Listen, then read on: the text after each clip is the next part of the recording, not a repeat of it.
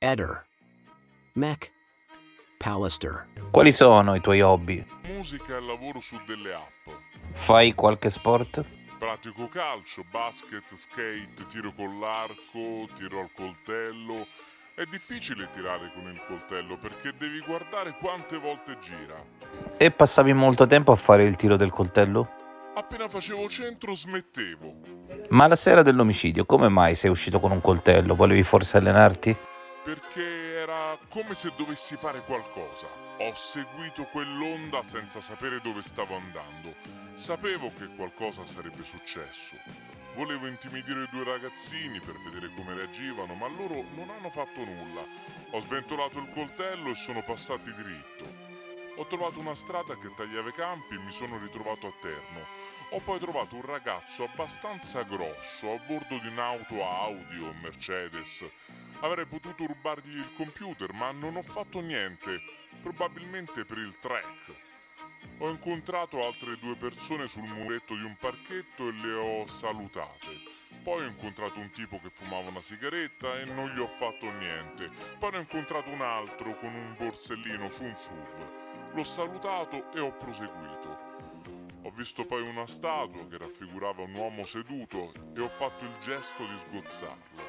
Ho incrociato la ragazza prima da davanti, non aveva la borsa, avrei detto che avesse capelli biondi, indossava i jeans e aveva le cuffiette. L'ho seguita da dietro, le ho messo una mano sulla spalla e le ho detto scusa per quello che sta per accadere. Lei ha tolto le cuffiette quando si è sentita toccare. Ho preso il coltello, la prima coltellata l'ho data al petto, ma il coltello è rimbalzato. Lei cominciava a scappare, sono sceso dalla bici, l'ho rincorsa e l'ho colpita più volte, tre o quattro.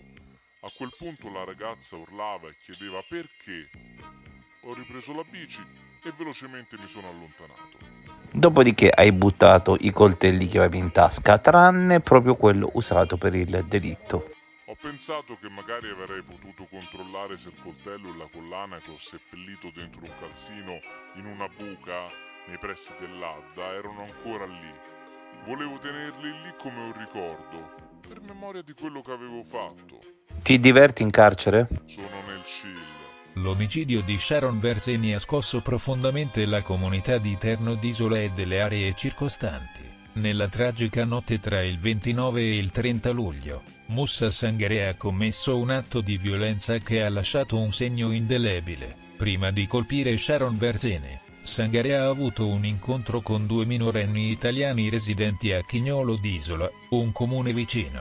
Questi due ragazzi, entrambi di 15 anni, sono stati identificati dai carabinieri di Bergamo e uno di loro è già stato ascoltato dagli inquirenti. Il giovane ha fornito un resoconto che combacia con le informazioni raccolte durante le indagini e la confessione dell'assassino. Ha raccontato che Sangare, mentre incrociava i due ragazzi, ha fatto un commento di apprezzamento sulla maglietta da calcio di uno di loro. Tuttavia, il momento è rapidamente degenerato quando Sangare, allontanandosi, ha mostrato il coltello, un gesto minaccioso che ha preannunciato la tragedia successiva. L'altro adolescente, che era presente durante l'incontro con Sangare, sarà interrogato nei giorni successivi per fornire ulteriori dettagli. La descrizione fornita dal primo ragazzo si allinea perfettamente con le caratteristiche e il comportamento di Sangare, confermando ulteriormente la sua responsabilità nell'accaduto.